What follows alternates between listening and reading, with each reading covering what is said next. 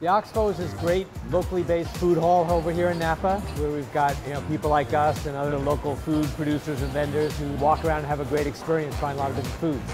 One thing that I love about being part of the Oxbow is that it's such a great collaboration with so many other people. There's so many great vendors and people who are producing great things and then this, the energy is so positive. And then obviously the people who come in are, are phenomenal too. It's just so much fun.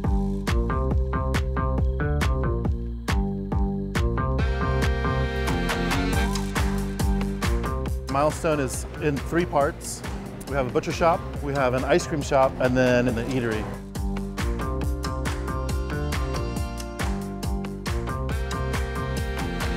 One of the most popular ones for sure in the eatery that people like to order is a uh, fried chicken sandwich. It's a huge favorite, but then also two people come for us when we're known for Five Dot Ranch beef. And we have a butcher board, which is a selection of things that come from the case and that we'll grill and cook for you for sure.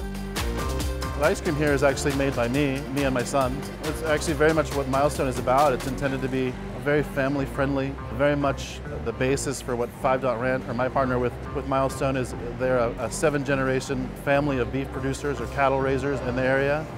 So family is very much a part of what we're about.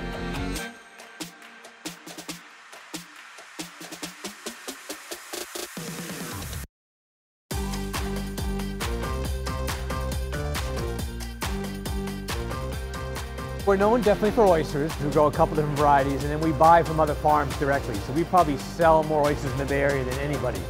So we try to have a good variety on the menu, anywhere between four and eight oysters.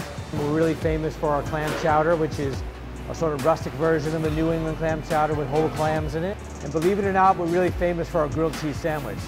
We farm oysters in Tomales Bay, sold to wholesalers and restaurants for many, many years, and then started our first restaurant in the Ferry Building in San Francisco in late 2003 and really fell in love with the business and here I am today.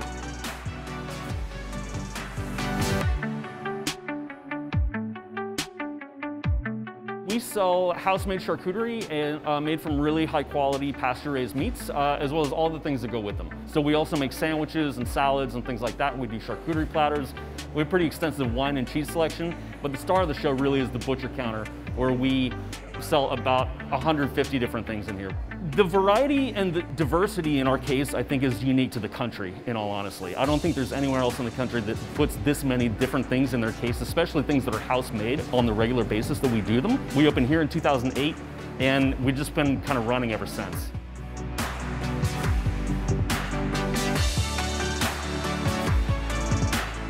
Fieldwork has a great selection of beer. We generally will have anywhere from 20 plus different styles of beer on draft at a time. We specialize in hazy IPAs, but obviously we make the full gambit, anything from light beer to Belgian style, sours, dark beer. Uh, we have a little bit of everything. We have a lot of great regulars that come and visit us daily, so it's a lot of fun. A great way to spend the day is to just come kind of walk through the market, see everything that's going on. They have tons of different options for drinks, food, and obviously the best place to end is always gonna be at Fieldwork. Come sit down, have a beer, enjoy our beer garden, and just enjoy the rest of your night.